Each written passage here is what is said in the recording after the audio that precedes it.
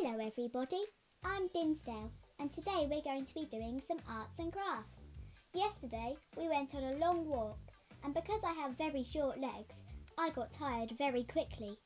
So I found something to help. I found this. It's my walking stick. Although my walking stick is a very good one, it's a bit plain and could do with some decoration. So that's what we'll be doing today. For this activity, you will need some paint, a stick, some paintbrushes, some water, some decorative sequins, and some paper towel to change colours when you want to. Right, let's get started. First, clean your stick, because we don't want it to be dirty. Mine's already clean. Next, make sure that the stick is dry, ready to paint and decorate. Let's start the fun part. You can do whatever you want.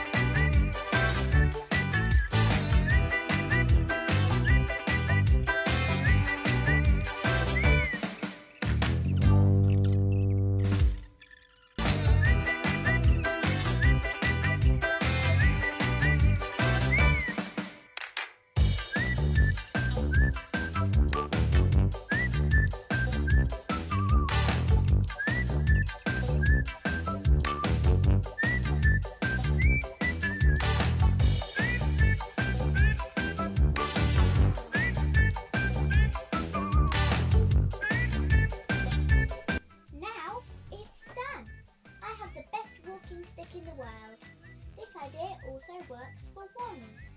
Thanks for watching.